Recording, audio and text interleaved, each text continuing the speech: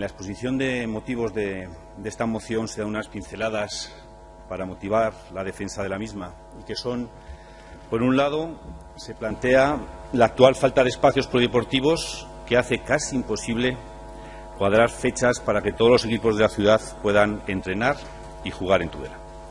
Además, existen dificultades para los equipos que normalmente entrenan al aire libre puedan trasladar su actividad a un pabellón cubierto cuando las inclemencias del tiempo lo exigen. Por otro lado, existen obstáculos para poder alquilar estos espacios a deportistas interesados en su uso para práctica deportiva particular, baloncesto, balonmano, fútbol sala, etc.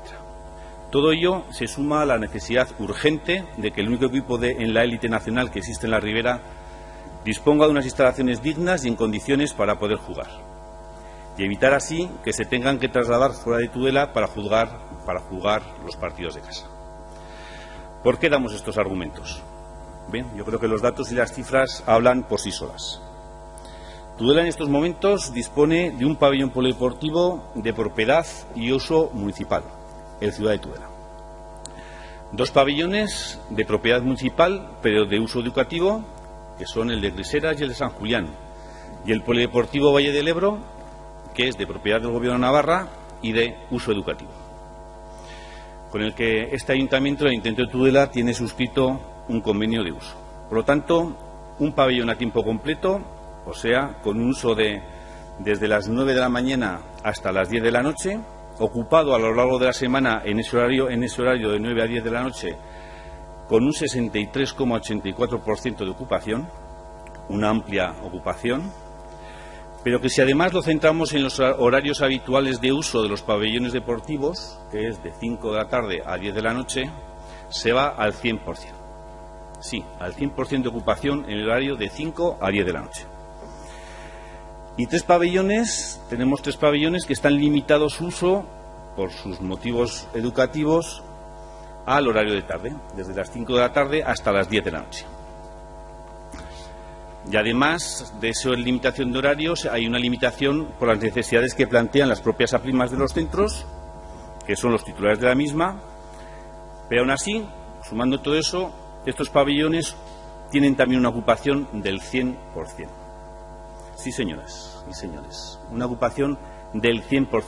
Bueno, Griseras y San Julián del 100%, y el Valle del Ebro del 92%. Prefiero evitar que alguien pueda sacar punta y con ello intentar quitar valor a los argumentos que estemos dando desde UPN.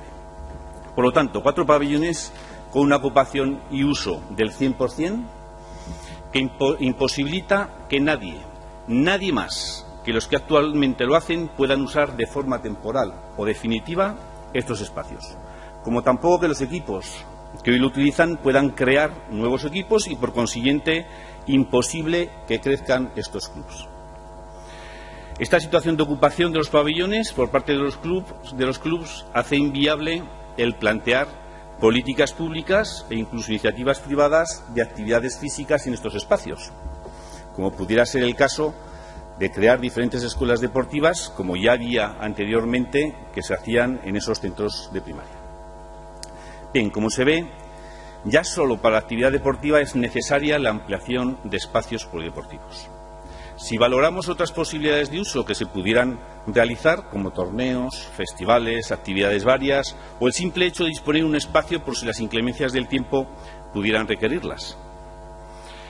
Como puede ocurrir este mismo fin de semana en la Feria del Stock, que se va a celebrar en Tudela, al aire libre, y si como dan las previsiones meteorológicas, llueve. O como puede pasar en el festival que el Ayuntamiento de, de Tudela tiene intención de organizar a principios de junio al aire libre y a orillas del río Ebro con un presupuesto superior a los 100.000 euros y que si Ciercea llueve o sube el nivel del Ebro, no se tiene un espacio adecuado ni preparado para su traslado. Es imposible. Creo que con estos argumentos ha quedado suficientemente claro la necesidad de más espacios polideportivos cubiertos. Y ante esta necesidad, ¿qué se puede hacer? Bueno, yo creo que tenemos dos posibilidades. Bueno, pueden ser tres. La tercera sería no hacer nada, pero si no quiero ni ponerla encima de la mesa. Por un lado está la posibilidad de utilizar espacios existentes y, por otro lado, hacer un nuevo pabellón. El otro día, en la visita a ciudad de Tudela, el, coordinador deportivo mostró su opinión favorable al uso de otros pabellones, de otros pabellones argumentando de forma curiosa, a mi entender, lo no previsto del uso de esos pabellones, sino, perdón, lo no positivo del uso de esos pabellones, sino lo negativo de hacer un nuevo pabellón. Se tendría que cerrar el actual pabellón, ya que el ayuntamiento no podría asumir su mantenimiento. O sea, si hacemos un nuevo pabellón, hay que cerrar el pabellón que hay, porque el ayuntamiento no puede asumir su mantenimiento. Por consiguiente, un razonamiento que la lógica te lleva a no hacer un nuevo pabellón. Es, es absurdo hacer un nuevo pabellón si tienes que cerrar el que tienes. Para eso no lo haces. Lógico. Señor Jiménez, imagino que usted bajará luego aquí y me gustaría, ya que ustedes tienen la gestión de la Hacienda Municipal en Tudela, si no le importa, claro, si nos podría decir el superávit presupuestario del año 2016 del Ayuntamiento de Tudela o la previsión de superávit que va a tener en el 2017 el propio ayuntamiento. Con eso, ¿cuántas, ¿cuántas veces podríamos mantener pabellones? ¿12, 14, 16 veces podríamos mantener pabellones? ¿Hasta 16 pabellones podríamos mantener? Calculo que por ahí. Lo dejo ahí. Creo que ese argumento se cae por su propio peso. Bien, volviendo a las dos alternativas, entiendo que los grupos del cuartipartito ni se plantean concertar con el centro educativo privado ni con una sociedad deportiva privada. Creo que nada de nada. Si los, eh, si los cuatro partidos del cuartipartito no quieren ni siquiera concertar la educación, ¿cómo se van a plantear concertar un polideportivo de un centro? Dentro de esa lógica entiendo que esa la desecharían. Y también, por otro lado, ¿Cómo van a concertar con una entidad privada si, como están demostrando, no, negocian ni con la universidad ni con, con ni con la clínica universitaria y ante tener una facultad de medicina como es privada, pues vamos a hacer nosotros otra que es pública. Entiendo que con esos mismos argumentos sería absurdo que el cuatripartito plantease llegar a acuerdos con los centros privados. Y por consiguiente solo les queda como alternativa un centro educativo en horarios de tarde y siempre y cuando el, el centro no necesite esos espacios. Un solo espacio con limitaciones y a expensas de las necesidades eh, futuras del propio centro, que por cierto son prioritarias, por supuesto. Demasiadas condiciones para un medio largo plazo. Nuestro argumento para la defensa de un nuevo pabellón es muy sencillo y creo que coincidirá con el Partido Socialista de Navarra, ya que ellos ya lo habían planteado en su programa electoral y, por lo tanto, lo analizaron y seguramente que lo concluyeron antes que nosotros.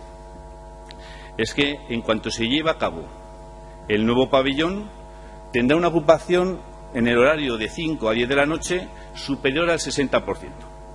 Y en el corto periodo de dos tres años rondará el 90% si no es antes de ocupación. Por lo tanto, si no hacemos un nuevo pabellón, estaríamos trasladando el problema al año 2020. Como ven, aún no he mencionado ni una sola palabra de las necesidades del equipo de fútbol sala que juega en Primera División. No ha sido por olvido, ni tampoco por creer que sea relevante. He querido reflejar la, necesidad de espacios para la práctica deportiva sin considerar los requisitos que la Liga Nacional de Fútbol Sala pide para habilitar unos espacios que cumplan la normativa federativa.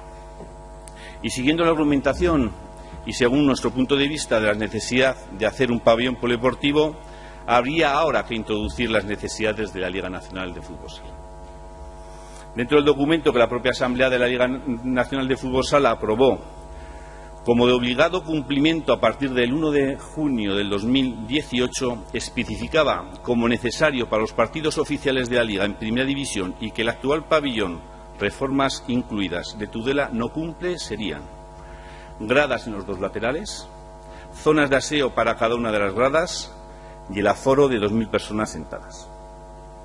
Estas tres condiciones no se van a cumplir tras la reforma prevista y, por lo tanto, estaremos al albur del visto bueno de la Liga o, lo que es lo mismo, tendremos siempre la espada de Damocles en función de la fuerza que tenga el presidente de la, Liga, de la Liga en cada momento dentro de la propia Asamblea, de que no cambie la presidencia y este no sea tan flexible, o que cualquier otro club denuncie un incumplimiento manifiesto del, acuerdo.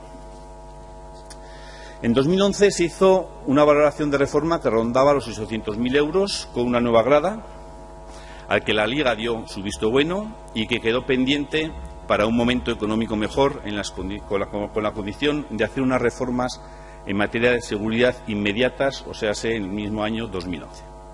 A mediados del 17, el Ayuntamiento hizo una memoria valorada, estimada en unos 830.000 euros, con la que el equipo redactor debía presentar el proyecto definitivo. Estos presentan un proyecto estimado en más de un millón y medio de euros, según nos enteramos por los medios de comunicación. En el Pleno Municipal se aprueba con un presupuesto de más de 800.000 euros, pero atención, señor Jimeno. El día siguiente del Pleno se remite al Gobierno de Navarra el proyecto con la valoración económica de más de un millón y medio. O sea, que hoy aprobamos una cosa, no se dice nada en el Pleno, más que el, presupuesto son 800.000 euros, y al día siguiente se manda una documentación al Gobierno de Navarra con un valor de millón y medio de euros. ¿A qué le suena? ¿A qué le suena esto? ¿O les han vuelto a engañar, como al resto de los concejales de la oposición, o lo sabían y han aprendido de la, de la manera de actuar anterior del alcalde, no del anterior alcalde, ¿eh? La manera anterior del alcalde. Aún no sabemos cuánto va a costar esta reforma, ya que ni informan ni dejan que los arquitectos informen. No sabemos si plantearán una reforma de 800.000, 900.000 o un millón o un millón doscientos mil euros. Todo eso para cumplir el expediente. Seguro que nos enteraremos por la prensa, como todas las cosas que pasan en, este, en ese ayuntamiento. Pero la reforma que necesita este pabellón puede rondar los dos millones de euros. Si no ponga ser que es así. Por lo cual, entendemos que el ayuntamiento debe realizar las obras para cumplir con las actuales normas de seguridad, accesibilidad, eficiencia energética, sanitarias, y mejorar todo aquello que sea necesario, sin tener en cuenta los requisitos de la Liga de Fútbol Sala. Este coste entendemos que no superaría los 500.000 euros, para el que además tienen más de 300.000 euros en ayudas, y lo que pretendemos con esta moción es que el Gobierno de Navarra entendemos que debe asumir el coste de un nuevo pabellón que cumpla con todos los requisitos que marca la Liga Nacional de Fútbol Sala. A la vez, que le pedimos que participe en la negociación con la Liga para una nueva próloga. No sería la primera vez que el Gobierno de Navarra financia un pabellón. Le pongo dos ejemplos. El pabellón deportivo de San Julián o el pabellón polideportivo de la Universidad Pública de Navarra. Háganlo, háganlo, háganlo por las 39 entidades o clubes deportivos o por los 19 equipos que hay en Tudela con licencias eh, federativas que tienen a más de 1.650 participantes, o sea, más de 1.650 licencias federativas. Háganlo por los deportistas que, por motivo de hobby o por pasar un buen rato, o por los aficionados que acuden a disfrutar del fútbol sala, o por la imagen que como ciudad damos a los equipos que nos visitan. Espero su visto bueno esta moción y que al final el Gobierno pueda ejecutar o hacer ese nuevo pabellón.